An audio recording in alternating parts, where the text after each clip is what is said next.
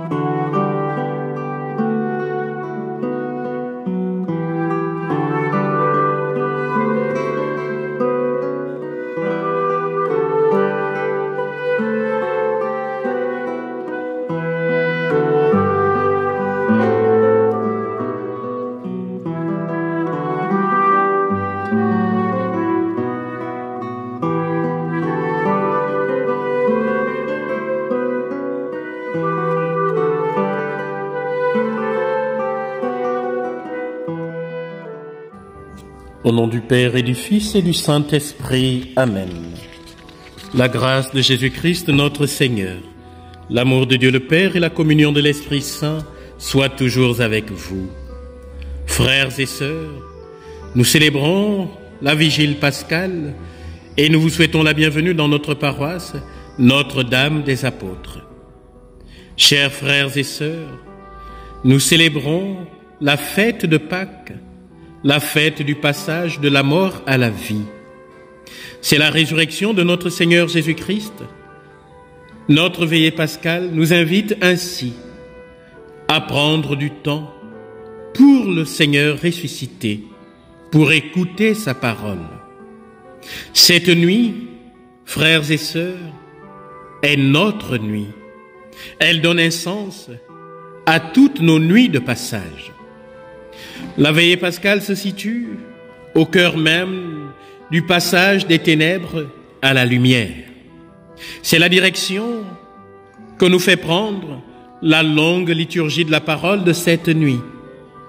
Des ténèbres et du chaos originel du livre de la Genèse jusqu'à la lumière du Christ ressuscité au matin de Pâques.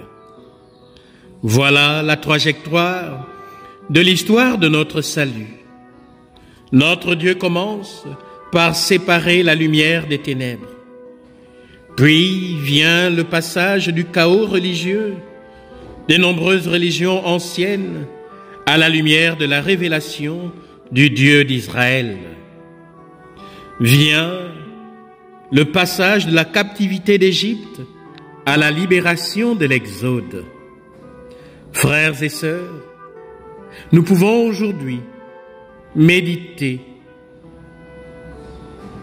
l'amour de notre Dieu qui nous fait passer du cœur de pierre au cœur de chair, animé par l'Esprit Saint. Et finalement, chers frères et sœurs, Jésus nous invite à vivre le grand passage des ténèbres de la mort et du tombeau à la lumière de la résurrection. C'est la Pâque du Seigneur. La lumière éclaire le monde, la lumière éclaire nos cœurs. Chers frères et sœurs, chacune de nos vies est faite aussi de ces moments de ténèbres et de moments de lumière, des vendredis saints, de mort, de supplices et de jours de résurrection. Il est toujours dangereux, chers frères et sœurs, de s'enfermer dans le moment présent, qu'il soit de ténèbres ou de lumière. Dans un cas, on risque le découragement dans les ténèbres, dans l'autre cas, un enthousiasme infantile qui en général prépare de grandes catastrophes. Chers frères et sœurs, ce soir, nous sommes une Église qui relit son histoire, une Église qui prie. Nous voulons et devons porter dans notre prière de ce soir nos vies, nos familles, notre Église et notre pays, le Gabon, pour conduire toutes ces réalités à la lumière du ressuscité.